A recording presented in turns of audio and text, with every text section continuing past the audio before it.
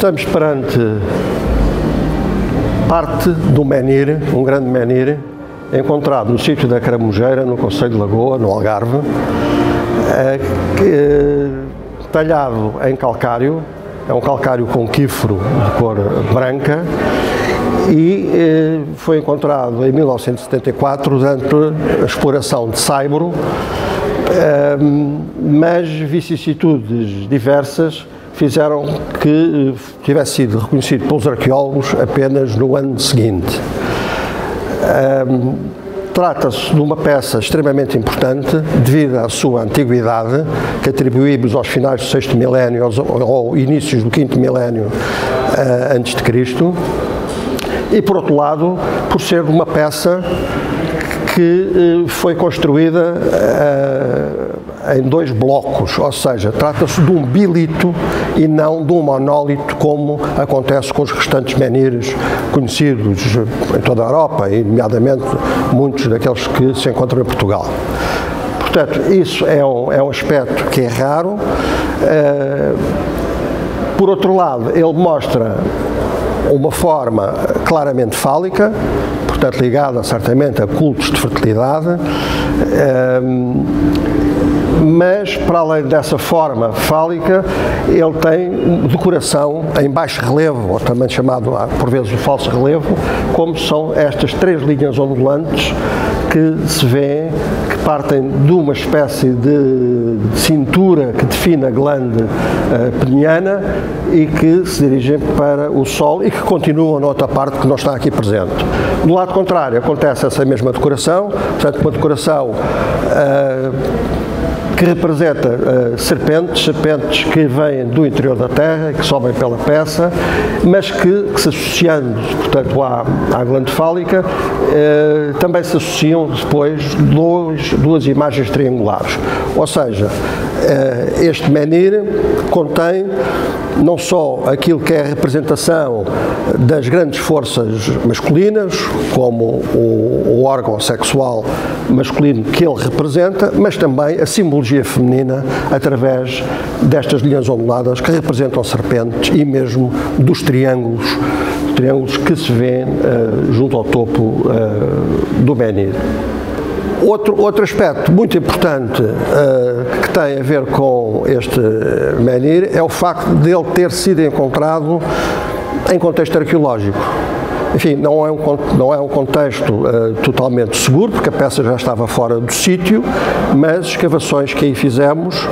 e prospeções levaram não só à identificação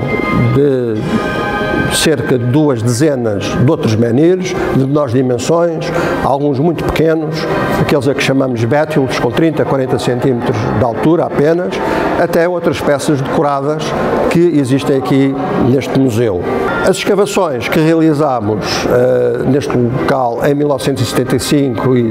e 76 uh, levaram a que tivéssemos encontrado ocupações de diferentes momentos, nomeadamente uma ocupação paleolítica, ou epipaleolítica, portanto já de transição para o, os tempos holocénicos, mas encontramos, portanto, um vasto povoado disperso do Neolítico Antigo, portanto nós chamamos Neolítico Antigo evolucionado, ou seja, portanto finais do sexto milénio, inícios do quinto milénio. E com, com espólio e com outras e com estruturas. Portanto, para além dos menires, uh, encontramos estruturas de combustão, vulgarmente chamadas lareiras, e uh, espólio, mas encontramos também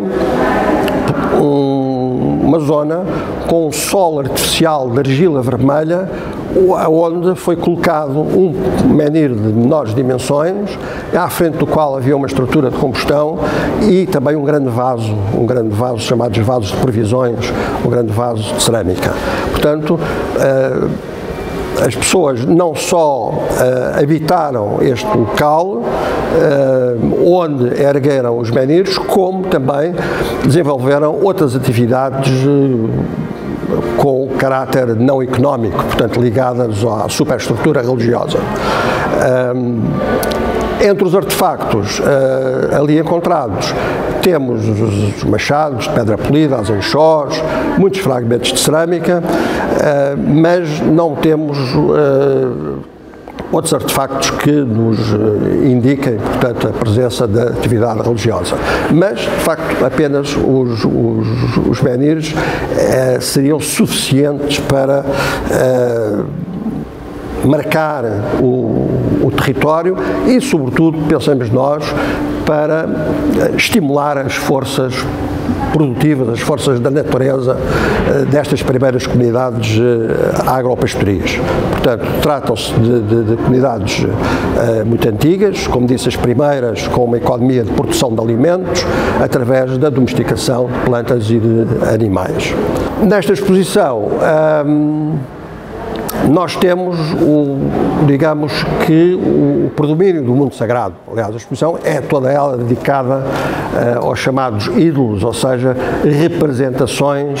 Uh, maior parte de caráter antropomórfico, eh, ligadas à presença de divindades ou de seres sobrenaturais, de espíritos, de, antepassados, etc.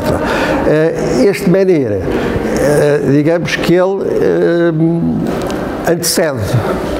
tudo o que está aqui exposto na, nesta mostra e eh, ele eh, representa aquilo que foi parte da matriz conceptual, portanto, em termos de religiosidade e, e, de, e de práticas socio-religiosas das populações que habitaram, portanto, no sul de Portugal. Até a descoberta da caramujeira, uh, de onde vem este menir, dos outros menirs que o acompanhavam e do espólio arqueológico que eu já referi, foi possível começar a conferir cronologia aos meniros. E era vulgo dizer-se, antes disso, portanto estamos no, em 75, 76, que os meniros uh, pertenciam a todas as cronologias e eram, uh, em Portugal, eram datados desde o Neolítico até à Idade do Ferro. Portanto, não, uh, não havia uma cronologia precisa uma, uma, e uma atribuição cultural precisa para estas peças. Depois da descoberta da caramujeira, identificámos logo num, numa zona fronteira uma outra, uma outra estação arqueológica com menires, chamada Areias das Almas. É um topónimo interessante porque, enfim, deve referir uh, peças antigas que apareciam ali assim, fragmentos de cerâmica, uh, e, e, portanto, o, o topónimo deve-se ligar com, com isso. E depois, prospecções que fizemos no Bar de Lavente Algarvio, onde também trabalhou uh, Adolfo Martins e Prescott Vicente, dois arqueólogos também trabalharam e também encontraram alguns menires, mas depois deles inspeções sistemáticas que aí realizei, Conselho de Vila do Bispo, depois em Lagos, Conselho de Silves, tem mostrado de facto uma quantidade enorme uh, destes monumentos, que são diferentes dos monumentos do Alentejo, dos menires do Alentejo isolados, alinhados ou em cromlechs, o que também acontece no Algarve, pequenos cromlechs. Uh, a fotografia que se vê atrás deste menir é do cromlech dos Almendros, que eu também escavei, já aqui há uma vintena de anos,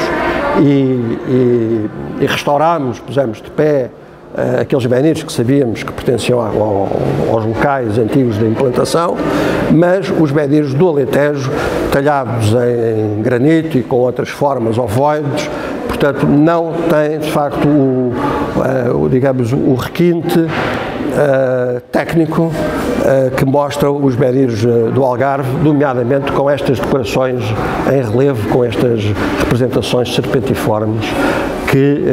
indicam de facto essa grande, uma grande matriz conceptual europeia e que tem, tem, a ver com a concepção, portanto, de duas grandes forças da natureza. A força do, do, as forças que vêm do caos, representado pelas serpentes, e o mundo organizado do, ou social que é o, o cosmos.